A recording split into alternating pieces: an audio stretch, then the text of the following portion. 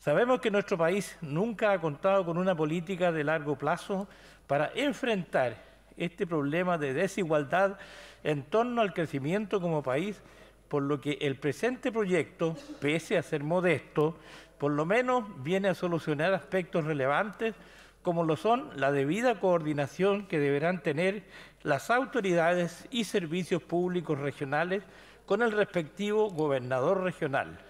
quien finalmente tendrá las tan esperadas atribuciones para coordinar y supervigilar a los servicios públicos que dependan o se relacionen con el gobierno regional respectivo, lo que por lo menos ya es un avance.